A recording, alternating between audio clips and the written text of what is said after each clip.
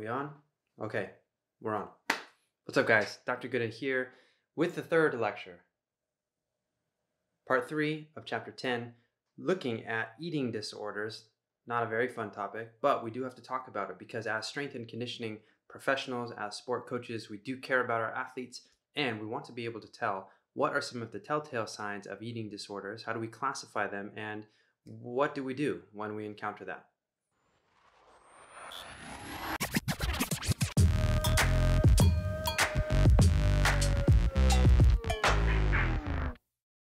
I'm Dr. Jacob Goodin, professor of kinesiology at Point Loma Nazarene University, and we're in the third part of a three part series all about nutrition for performance. This comes from the Essentials of Strength Training and Conditioning textbook put out by the NSCA. And so if you're prepping for the CSCS certification test, then this lecture is for you, as well as all of the other lectures linked down below in the CSCS study guide lecture video playlist. So in this lecture specifically, we'll be digging into eating disorders, what are some of the signs and symptoms, and what can you do as a strength and conditioning professional when you encounter them.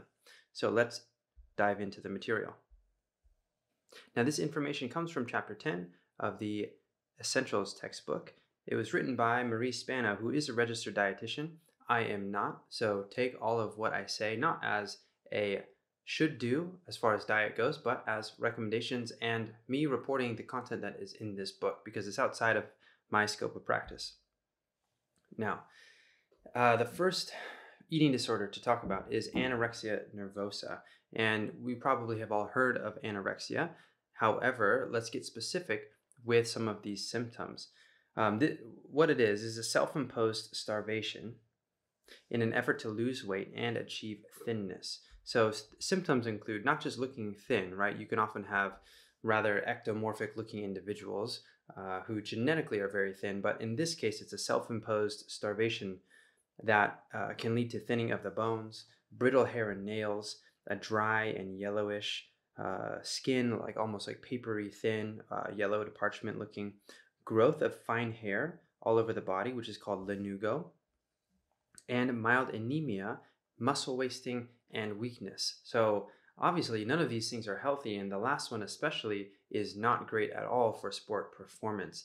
However, unfortunately, oftentimes, body image issues and uh, issues of self confidence can really get tied up into uh, training and nutrition. Sometimes they're related, sometimes they're completely unrelated. And so, unfortunately, we do run into this with our athletes, and we want to know what to look out for. Some side effects um, uh, continue here, more side effects severe constipation, low blood pressure, uh, slowed breathing and pulse, damage to the structure and function of the heart, right? It can get start to get really serious brain damage, multi-organ failure, drop in internal body temperature, which causes the person to feel cold all the time. Oftentimes, people struggling with anorexia, they might always be wearing lots of layers of clothing that are bulky, not only to sort of maybe hide the fact, uh, that perhaps other people have told them, hey, like you look kind of thin, do you need help? Maybe they don't want that attention, um, but then also because they feel cold all the time. And on top of that, things like uh, low energy, sluggishness, even infertility can result.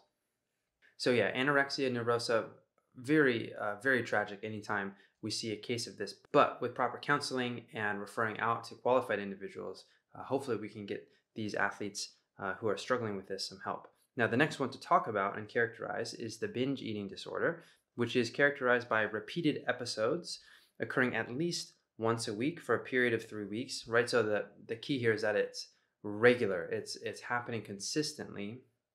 Um, and it, uh, these are episodes of uncontrolled binge eating, uh, eating significantly more food in a short period of time than most people would eat under the same circumstances. Now, being somebody who tends to eat a lot of food all the time, coming from being a former endurance athlete and out eating, you know, the throwers on the team, and still just having a very high uh, appetite. Partly because I'm very physically active, but also partly genetics, and partly because um, you know I am gaining a little bit of weight, and I'm okay with that. Oftentimes, people will make fun of me and say that I'm binge eating, or something like that. But in this case, it's it's an uncontrolled uh, response. It's often a, a response to stress, or it's a poor relationship with food, or anytime you're feeling uh, or the individual is feeling negative emotionally, they're going to turn to food.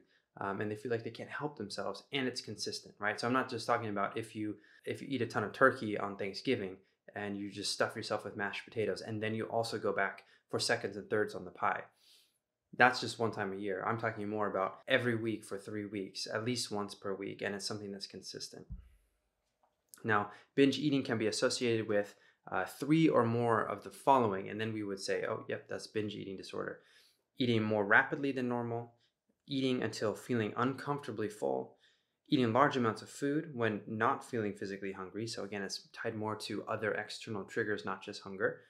Eating alone or feeling embarrassed by how much one is eating. Personally, I identify with with that, right? I go to like a faculty lunch, I get one or two or sometimes three plates of food.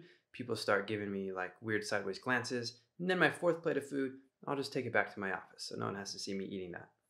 Um, and then, and then sadly, the last one, feeling disgusted with oneself, depressed, or very guilty after eating. Individuals who fit into three or more of those oftentimes would be categorized as having a binge eating disorder. Now, this should be differentiated from individuals who are in a massing or bulking or muscle gain phase, especially the latter uh, stages of those phases, because it might look like they are binge eating all the time. And perhaps they have to because if they already have sizable muscle mass and they're large individuals, they just have to eat a lot. Um, so I'm not talking about those circumstances. I'm talking about when it's more when it's uncontrolled and unplanned. Next is bulimia nervosa. This is a recurrent consumption of food in amounts significantly greater than normal, followed by episodes of purging. So you're eating a lot, similar to the binge eating disorder, but then you purge it. You vomit it back up right? So going into the bathroom or you know behind the building or whatever just in a private place and forcefully causing yourself to regurgitate the food either so that you don't you know cause yourself to become overweight from it or to make room for the other food that you still want to eat. So the binging and purging need to occur at least once a week for a period of three months for this to be considered actually full-blown uh, bulimia. People with bulimia nervosa feel a lack of control during these eating episodes, similar to binge eating disorder, but they're also more likely to be of normal weight as opposed to being overweight or obese because they're uh, regurgitating all of those calories oftentimes before they can really be absorbed into the bloodstream. So, not all the time. Sometimes binge eating and bulimia sort of go hand in hand and sort of flop back and forth. So, it is hard to tell, but oftentimes these individuals can be of a, a more normal body weight. Now, bulimia can lead to the following symptoms chronically inflamed and sore throat. This is because of all that stomach acid that's being regurgitated up through uh, the throat. Swollen salivary glands in the neck and jaw area, worn tooth enamel, sensitive teeth, decaying teeth, uh, sensitive gums. Again, this is because of all of the, the acid and bile that's, that gets uh, regurgitated. Acid reflux disorder, other GI problems, intestinal distress, irritation from laxative abuse. Oftentimes, bulimia can be accompanied by uh, the abuse of laxatives, again, to try to get all of that food out and to keep a lower body weight while still uh, binge eating. Severe dehydration from purging all of those fluids, and electrolyte balance, which would be too low uh, levels of sodium, calcium, potassium, or other minerals, or potentially too high levels of those minerals because we have all of this water loss. Now, the next one is um, the avoidant slash restrictive food intake disorder. Now, th- now this one is a little bit more uh, rare and less well known. This includes an apparent lack of interest in eating or in food, the avoidance of food based on sensory characteristics of that food. So perhaps somebody, uh, I don't know, just doesn't like anything cold or anything that's chewy or anything that is uh, crunchy. And this leads to to actually eating way too few calories because they just find that unpleasant tactile sensation in a lot of the food that is available to them. There's oftentimes this concern with some of the negative consequences of eating, such as, I don't know, toxins in it or antibiotics that are getting, you know, leaching through into the meat or uh, pesticides that are, are on all of the produce nowadays. And so they'll just avoid food altogether because of uh, all of the potential deleterious effects that they think they might have on their health when in reality they're just starving themselves of calories and nutrients by avoiding eating altogether. Then we have uh, pica. I think that's how you pronounce it. pika like Pikachu. Pica uh, is eating non nutritive substances for a period of at least one month. uh, this just means like eating random stuff that's not food. So things like clay, laundry starch, ugh, cigarette butts, hair, chalk. These are all real things that people, for some psychological reason, uh, have consumed for for long periods of time. And so this is this is a disorder that needs help. It, it may not lead to becoming overweight or obese, but definitely could lead to some other negative health consequences. And then we also have rumination disorder. This involves chewing, reswallowing, or spitting of regurgitated food. So, you know, kind of like a like a bovine or something where you, you like chew on it a long time, swallow it, regurgitate it, re, re-chew it, and re-swallow it. It sounds gross, but you know, it's it's a problem that some people have. So the key point with all of this um, is that the strength and conditioning professional is not responsible for treating eating disorders, but instead should be aware of the symptoms associated with an eating disorder and refer athletes to the appropriate professional. So as a strength coach or as a sport coach, as a sports scientist, we care about the well-being of our athletes. We care more about their well-being than their performance, or at least we should. It's not our job to jump in and be this, you know, the savior, the person with the cape on to try to save somebody from an eating disorder or even to point it out. We can instead we can ask questions. We can show them uh, that we do love and care for them, and that we uh, we want their overall holistic health to be more important than athletic performance. And we can bring in qualified individuals, so physicians, sports dietitians, psychologists, sports psychologists, um, to create this blanket of care around the athlete. So through a multidisciplinary approach, we can tackle these uh, these very serious, potentially serious uh, issues.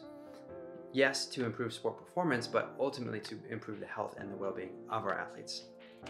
All right, that wraps up chapter 10. Uh, if you missed the other lectures, you can go back and find them in the strength and conditioning playlist. The next chapter we'll be covering is chapter 11, which is all about ergogenic aids. So I'll see you guys on the next video. Until then, stay strong, and I don't know, I was trying to think of like a closing statement, but yeah, stay strong. That's probably enough. See you guys in the next video. I feel like I have something on my teeth. Mm, it's just kind of gross. Okay, that's better. Next is bulimia nervosa.